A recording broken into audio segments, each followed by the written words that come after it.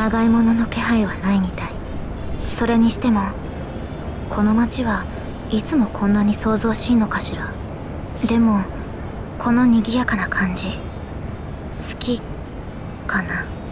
私の育った場所は何もない田舎だったから、う、まく言えないけどにぎわっている町はいっぱいあるけど秋葉原のような町はあまりない気がする。この町が存在できた理由。まるで神様の集う町みたい。ワゴンセールの前にいる人たち。まがいものの気配がする。行きましょう。てめえらはまがいもの狩りの。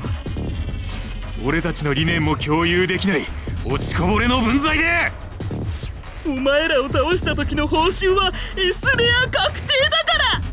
ストプリの限定リペイントフィギュアのために死ね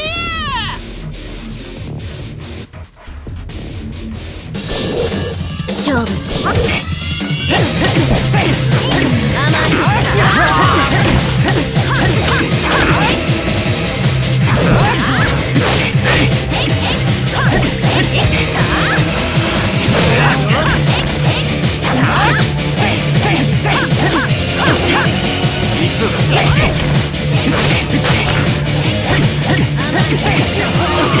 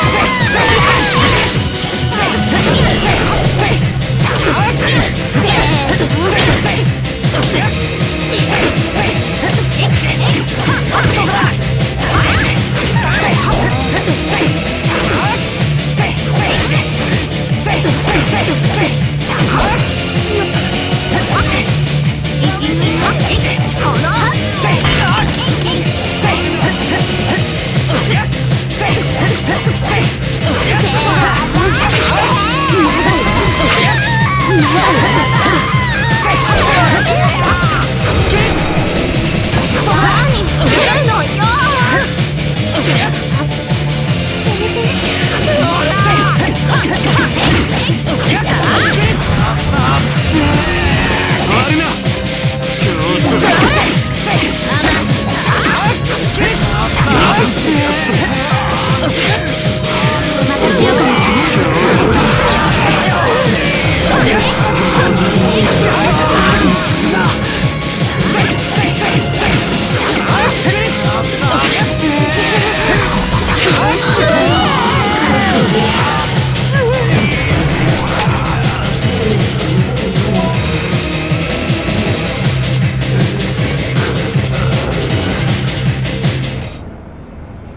大丈夫？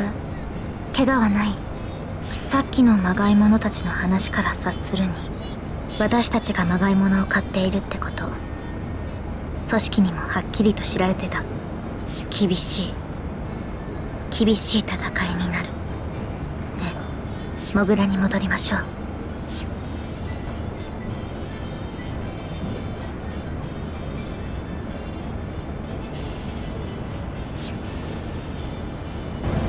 よしよし。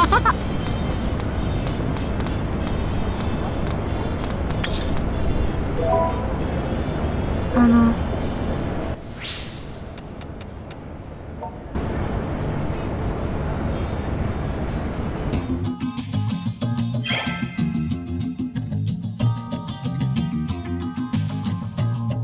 みんな揃ったようだから作戦会議をするぞ。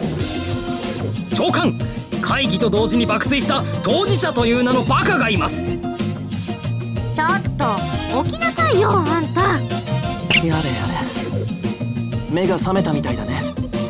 おいなんかうなされてたけど大丈夫か？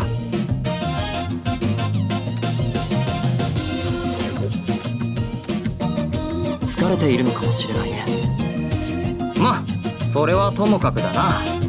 お前さなんか無理してないか？なんか使命感とか正義感とかで戦ってるんじゃねえだろうな。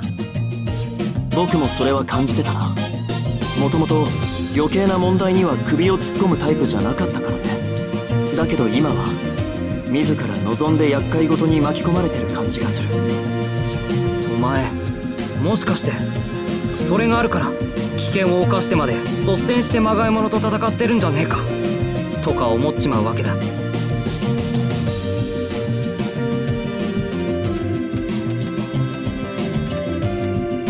そっか。だけどこれだけは忘れんなよ。お前は一人じゃねえからな。そうそう。全部一人で背負い込むなんてあんたには似合わないんだから。メンタル面のサポートも僕らに任せなよ。愚痴くらいいつでも聞くからさ。ああ女性関係は兄貴には聞かない方がいいけど。なんでだ？二次元の愛し方を伝授できるぞとにかく俺はお前だけが目立つのが気に食わん。それが本音か。いい加減話を始めんぞ。でまがいものの件だがよ。マスコミやメディアで取り上げないから秋葉住人ですら危機感が薄い感じがする。ぽつりとかで時々話題が出ますが大半がガセネタオツで終わってますね。大々的なニュースでなくてもよもうちょっとまがいものの危険性を知らせた方がいいんじゃねえかと思うんだが。人通りの少ないところは避ける。昼でも薄暗いところは注意する。有名人に頼んで注意を促すのはどうでしょう？おそれいいんじゃね？りんちゃんとかよ。路上ライブで言ってもらえればすごい効果になるね。しずくちゃんはどう思う？私はその外に出てきます。おい。なんか様子が変だったな。ひょっとしてアンチリン派か？そういえばこの間のゲリラライブの時も様子が変だったけど。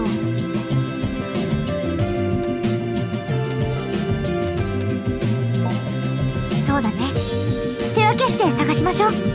私は中央通りの方に行くからあんたは裏通りに行ってみて。